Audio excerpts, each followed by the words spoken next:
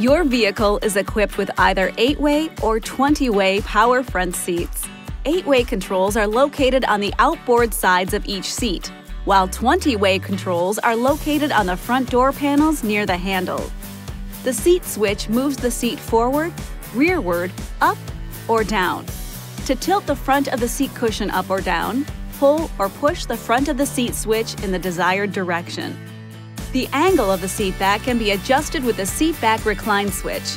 On Grand Wagoneer models, you can adjust the upper seat back angle independently and extend or retract the front of the seat cushion for better thigh support. The plus and minus buttons adjust the lumbar in, out, or lumbar up, down, as well as the back and thigh bolsters. Choose the item you want to adjust in the front comfort and convenience display or the Uconnect display. Wagoneer models have a power lumbar switch next to the other seat controls.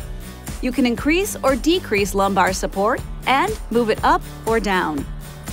The front passenger seat may offer power or manual adjustment. For manual controls, move the seat forward or rearward by pulling up on the bar under the seat. Pull up on the seatback lever to adjust the angle of the seat back. Manual front seat four-way head restraints can be raised by simply pulling up on the headrest or lowered by pushing the adjustment button on the side of the headrest and then pushing down on the headrest. To adjust the headrest forward or rearward, push the adjustment button, then move the top of the headrest toward the front or rear of the vehicle as desired, and release. The Grand Wagoneer's power front head restraints can be moved up, down, forward or rearward with a switch on the door trim panel. Outboard second and third row head restraints are not adjustable, but will automatically fold forward when the seats are folded flat.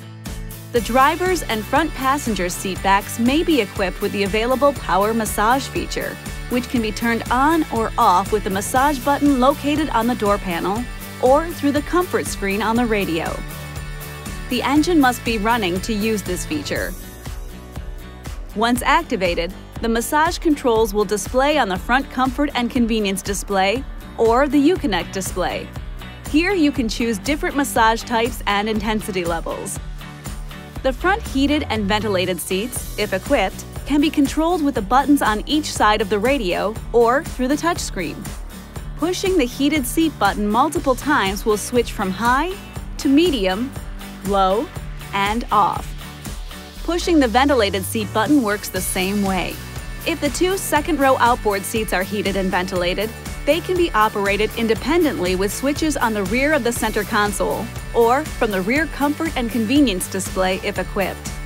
The engine must be running to operate heated and ventilated seats.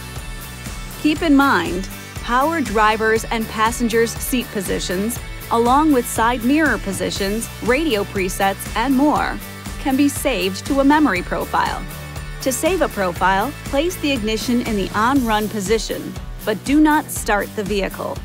On Wagoneer models, push the S button on the driver's or passenger's door, then push one of the memory buttons within 5 seconds. On Grand Wagoneer models, push one of the memory buttons for at least 2 seconds and look for confirmation in the instrument cluster display. This video is not intended to take the place of your owner's manual. For complete details and other important safety information, please see your owner's information.